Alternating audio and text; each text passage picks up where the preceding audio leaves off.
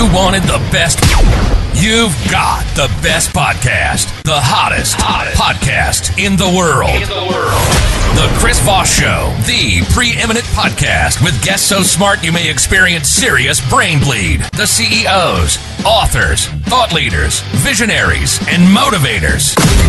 Get ready, get ready. Strap yourself in. Keep your hands, arms, and legs inside the vehicle at all times, because you're about to go on a monster education roller coaster with your brain. Now, here's your host, Chris Voss. Hi, folks. It's Voss here from the ChrisVossShow.com. Uh, ladies and gentlemen, welcome to the big show. When the Iron Lady sings, that makes it official. Welcome, welcome, welcome.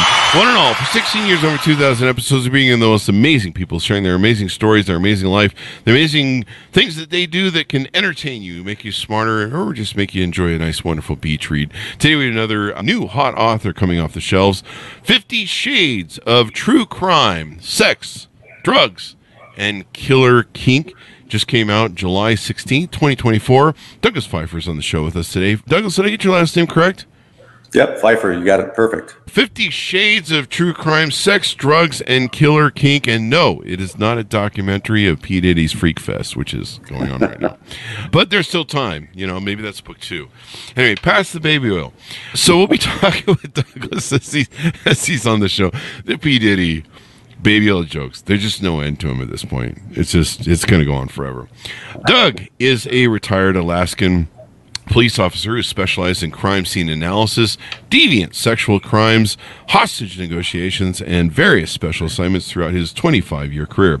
He's a highly decorated investigator, and he's negotiated with serial killers, solved homicides, and worked real life cases that will shock you to the core. He started in law enforcement with the Anchorage Police Department in 1996 and retired in 2021. I just like to, for the record, say it wasn't me, whatever whatever happened. anyway, welcome to the show. How are you, Doug? I'm fantastic. I know it wasn't you, but I can still pin it on you, Chris. oh, shit. Wow. That got dark quick. Wow. Check, please. So, Doug, give us your dot coms. Where can people find you on the interwebs? Yeah, real simple. It's dougfifer.com, and that's just D O U G F I F E R.com. You can watch yeah. the book trailer, find all about, out about me. It's everything's there. Yeah, and please don't pin anything on me. I, I had enough of that at the at the Freak Fest P. Diddy parties. anyway, uh, yeah, there's lots of pinning going on. I guess pegging, pinning, what? Anyway, give us a thirty thousand overview of boy. This is this is one this is one hell of an episode. Give us a thirty thousand overview. What's in your new book, Fifty Shades of True Crime? Yeah, the title, as you can tell, it's based off Fifty Shades of Grey. And what I did is my 25 year career, I took the most sexually deviant cases I ever worked mm-hmm. and took them all, put them together into a book. It's similar to the Fifty Shades of Grey style, but these are all true crime cases. They actually happened, criminal charges, or you know, sex, drugs, and killer kink. You either lived or possibly you died in some of this. So I really put it all together, and it's a play on words, but the book is is really key on those deviant sexual aspects of human psyche. Drugs, sex, and what was it? Kink? Sexual killer kink, kink. Killer Kink. That's just Fridays around here at the Chris Voss Show. and you you wrote this book, and evidently it's doing really well. Who likes it most, the men or the ladies? Not even close. It's going to be the ladies, and I'd say the that forty to sixty year old is the sweet spot. And as far as the website goes, they're the most interactive on the website, meaning they ask some really intricate and detailed questions really? about these crimes. So they read the book, and it's it's not surprising, but overwhelmingly it's the women. You need to have a private Patreon or something, a group where you talk about the stuff. If you have that much interest, that is pretty wild, dude. Yeah. The big thing is the book clubs contact me, and the new thing is have the author with the book clubs. So you'll go on Zoom or in person with, you know, a group of 15 women, and they'll really dig deep into the book, and you kind of talk oh. through it. But they mm-hmm. love doing that now. Oh, do the does the does the camera lenses ever fog up? Anyway, I don't know. I've been married a bit, can't get divorced, so I'm gonna I'm gonna stay that way. That's true. but you're talking about these hot scenes in the book.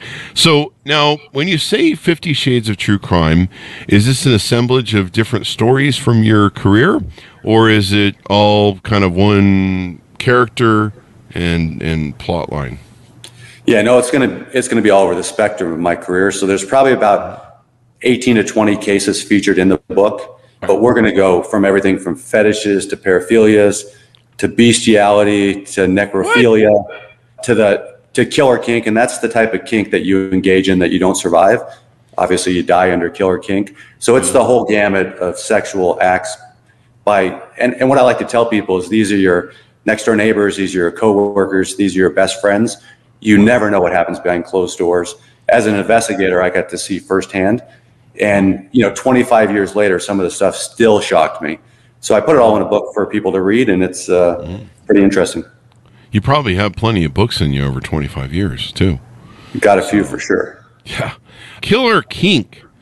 I imagine that's something people don't go into willingly, or are there some people that are like, I really want to be in a snuff film? I don't know. Sounds like a movie I saw.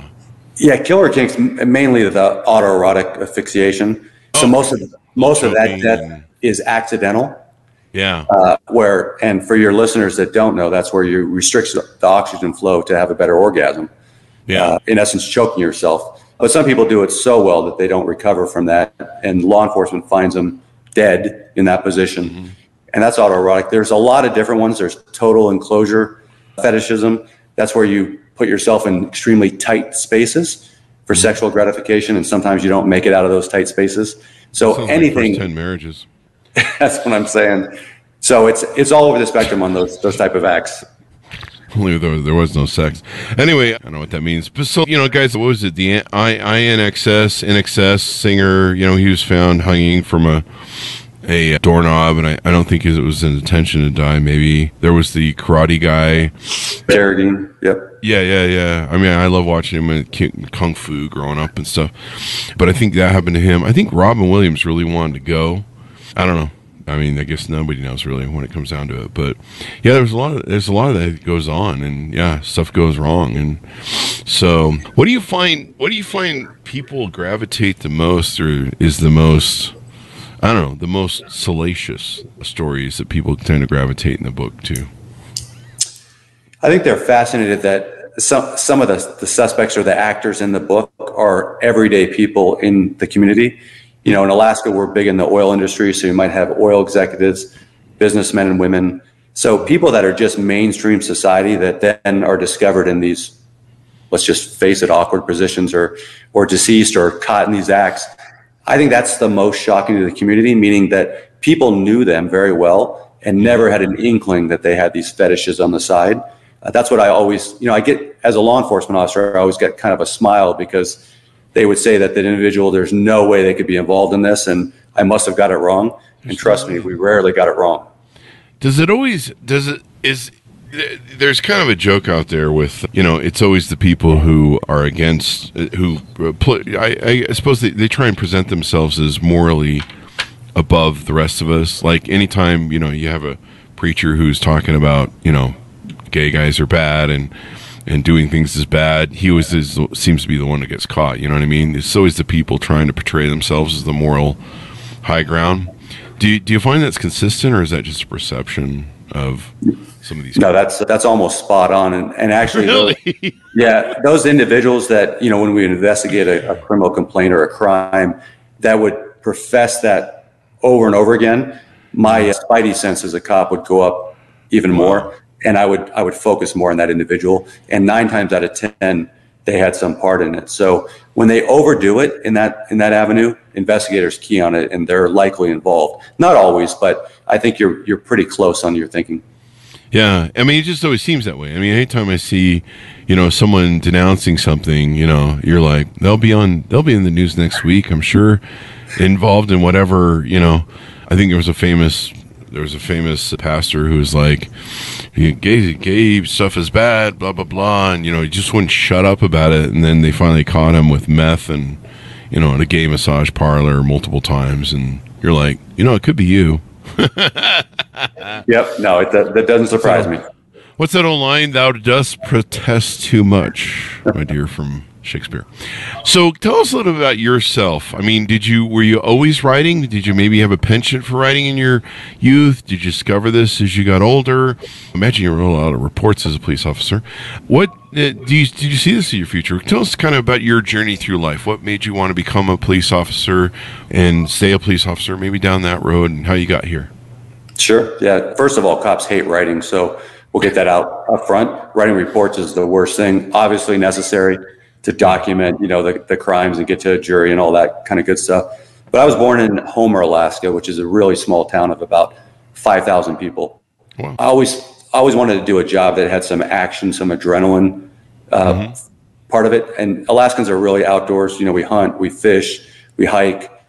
So I wanted something where I could be out in the community. Mm-hmm. So I moved to Anchorage, had applied with the Anchorage Police Department in 1996 and the Alaska State Troopers. Those are two big law enforcement entities. Both have had little shows on TV time to time. The Anchorage Police Department hired me first, and the troopers offered me a job a week later, but I'd already accepted the first job. And so I started my career then. I did. I finished my 25 years. But what I found most exciting is the job always changes. You work in, in different units, you have different specialties. Every four to five years, I would change to something else to kind of cross train myself as a cop and become a better investigator. So I really worked the gamut in 25 years. The way the book came about is, you know, about halfway into my career, you go to cocktail parties or friends' houses, and non law enforcement would ask you, What's the strangest, freakiest case you had? And so you tell them about a cool robbery, maybe a homicide, and they'd be like, No, no, what's something sexual that happened that's weird? Oh. And then you get into it. And that's all they cared about. They didn't care about the robberies. They didn't care about the homicides. They would just ask you multiple questions on these really deviant sexual cases. And Maybe they would start an OnlyFans channel and just read the book to people. I'm telling you, you might. And to a T, they would they would want more questions and and would tell me you should write a book someday. At first, I thought, who's going to read this book? I mean, this is really dark and dirty. I don't know if they'll read it. And then as I got more and more years into it, I was like, you know what? When I retire, I'm going to write a book long story short, the interesting thing about this book is I wrote it in about three months post retirement. I went to to the six major publishers in the U.S. They all loved the book, but they all wanted a timeout to review it because the material's so raw. Hmm. And one by one, they rejected me as an author in the book. They just but, couldn't. They couldn't publish Fifty it. Shades of Grey is fine, and your book's not. That's what I mean. It's it's it's real. It's true crime, so it's not you know, it's not fictional. So they didn't quite get there. Finally, I found a publisher that grabbed it and it's just exploded in popularity to date, which I'm very happy for. But I'm a little biased as an author. I think it's a good read, but I think it shocks people knowing what happens in every day in every town USA. It, this stuff happens everywhere. And so the book kind of details that out, mainly in Alaska, but I do reference some cases throughout the US. Wow. That's that's really wild because we book a lot of we book a lot of Simon Schuster, Penguin Random House, all all the variations that are out there, and you know we've we've had a lot of these types of books on the show. They're usually written by women. I wonder there's some discrimination going on there. was Fifty Shades, Fifty Shades of Grey was written by a woman, wasn't it? I think so. I think you're right. Yeah. What the fuck, dude? I've had some romance novels on that have those covers that are just are just softcore porn on the covers, and they're wonderful people. But you know, you look at the cover, and of course, we have discussions of what's a little bit in the book, and you know, there's a lot of naughtiness going on in there. That's kind of wild, man. That's kind of yeah. Wild. There's there's a lot of naughtiness going in my book, and it's all it's all real life naughtiness, and I think that's where the publishers these are actual cases, so they they got a little bit freaked out but again, uh, I think maybe there's some I think this, or something. I don't know. Yeah, the second round, I think they'd be fine now because they see the audience yeah. likes the book, and that's how yeah. it always works. Yeah, you're going to build a hell of an audience, man. Just get a Facebook group. And I was even joking recently because so many women love the sound of my voice when I not post COVID. I'm still recovering my voice from COVID last two weeks, but I was joking about how I should just go on TikTok and just read romance novels. You know, he, I'm happily married, but you got one hell of a sexy voice, Chris. I'm not your no homo. Anyway, that's the only joke I can come up with there, folks. Let me ask you this: you know, in Alaska, you guys have that thing where one part of the year, like it's just the sun's up all the time, and the next part of the year, I think the the sun's down all the time, if I understand correctly. Does that does that make some more, more weirdness stuff go on there up in Alaska than maybe other cities? Uh, I think it does. Like, police officer. Yeah, there's no doubt about it. Even the lack of light or too much light, I think we can put that aside. Think of it at eight, eight months of solid winter, a lot oh, of darkness. Depressing. Yeah, you can't. Yeah. A lot of activities you can't do. It. I mean, it's extremely cold out, so you get into drugs, alcohol, family members, couples are, are closed in houses and apartments together. So you get, you know, mm. tempers flare. So I think Alaska has a unique uh-huh. flavor of crime mm. because of that, just because mm. of the weather conditions. You're talking about the pure daylight and the darkness. Anchorage in its gets about 22 hours of sunlight on summer solstice during the summer, which is cool. But we have a town called Utqiagvik, which is the farthest north you can go in Alaska. The mm-hmm. sun sets in November. It doesn't rise again until the end of January. So imagine those residents. You're in pitch black for several months. That's kind of hard to, to deal with. So I think it certainly affects the crime in Alaska. Wow. That is crazy. Um, that is crazy, man. That is crazy.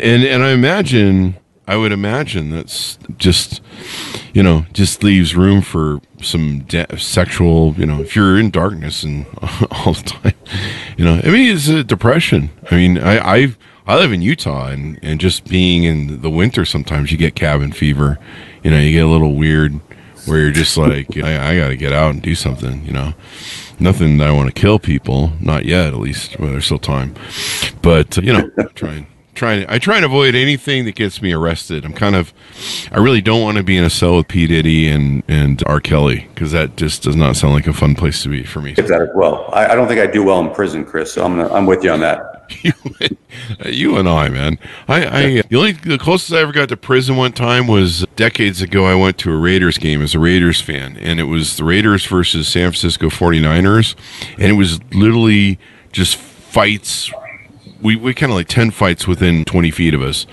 People flying down. I mean, it's just, it was like living on a prison yard that was unregulated. And I'd never been so scared in my life. And I'm a Raiders still, fan.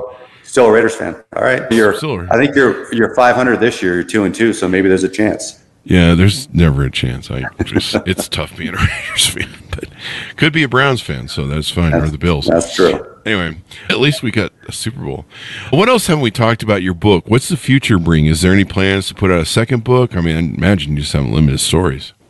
Yeah, the, the first book again is going to cover the real deviant sexual stuff, and there's a lot of interesting cases in there.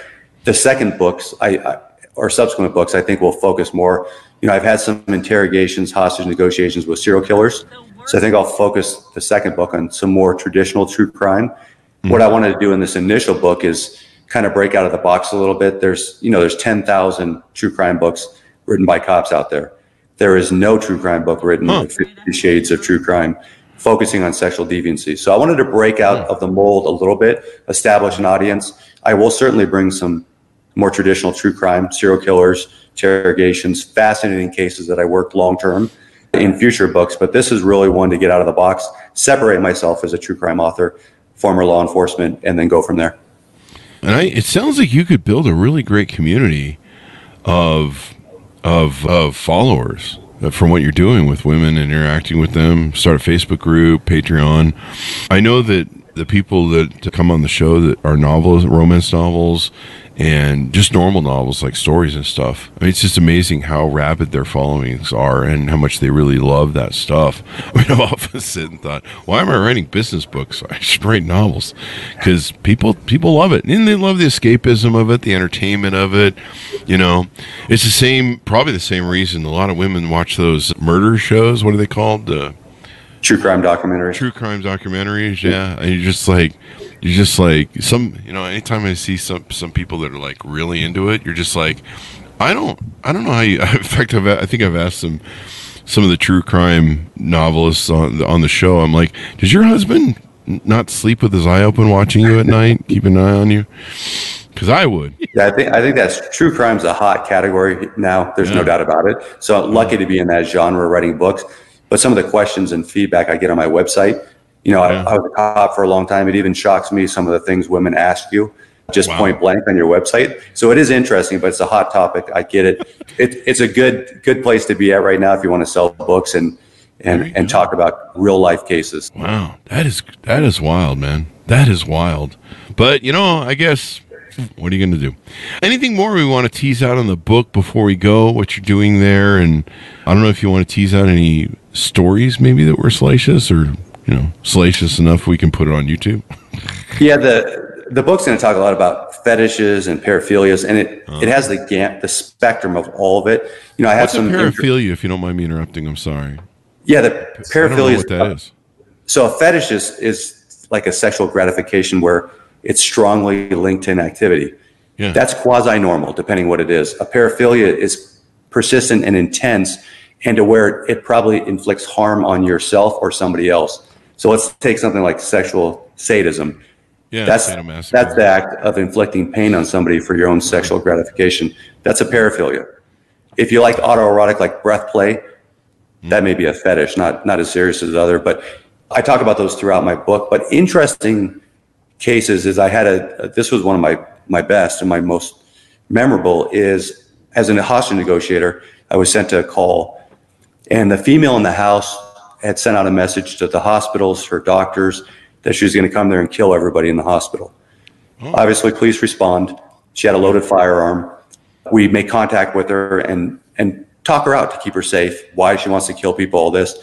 She had a fetish for lust murder, meaning that the thought of killing somebody actually sexually aroused her. But during the conversation as negotiators, you want to find out everything about the individual. I don't care what it is sexual hmm. preferences, political preferences, what jobs you worked. In the course of this conversation with her, and she knew I was a negotiator from the police department, she told me that she was a Hollywood celebrity and actually was in this a Playboy centerfold. Now, as a negotiator, I paused the, the phone because I was communicating, mm-hmm. and with my other negotiator, we kind of laughed out loud because there's no chance in hell that she was a Playboy bunny. Oh, Long story short, after about two hours of negotiation, we got her to come out safely. She had a loaded firearm.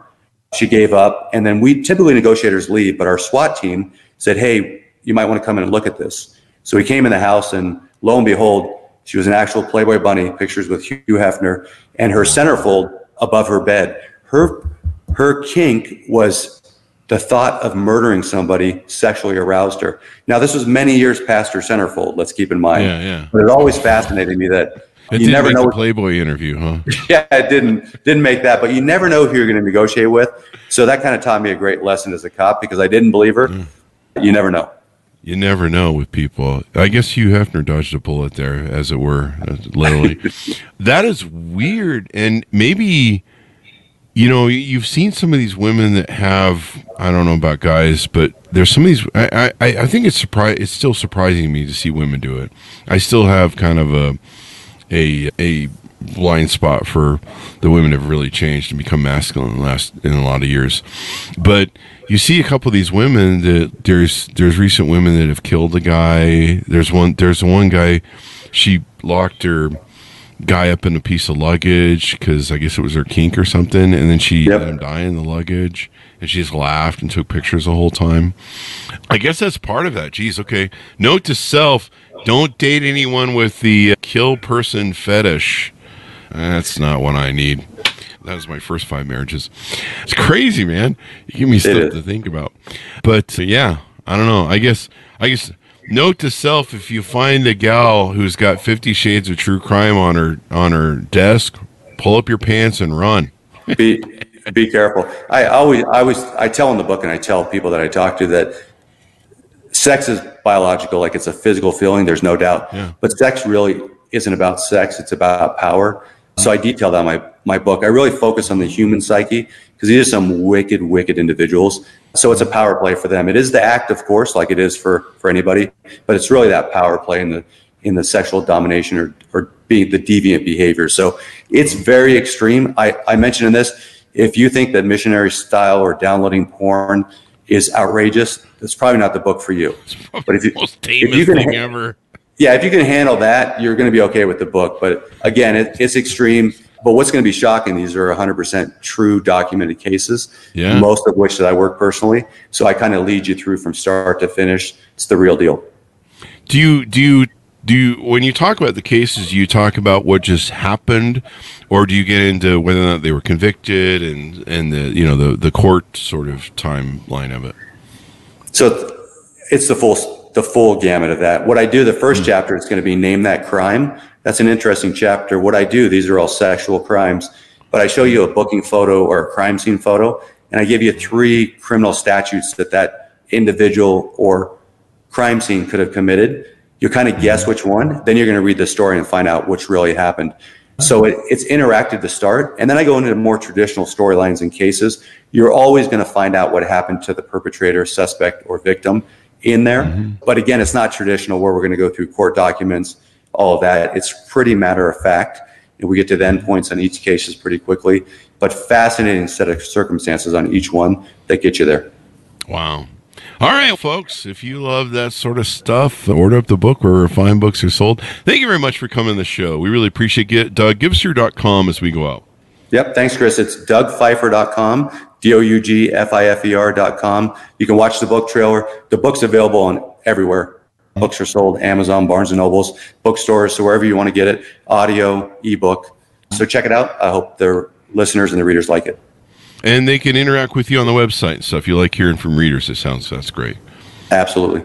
Thanks, guys, for tuning in. Go to goodreads.com forward slash Chris Voss, LinkedIn.com forward slash Chris Voss, Chris Voss, one of the TikTokity, and all those crazy places on the internet. Order up wherever fine books are sold. Out July 16th, 2024.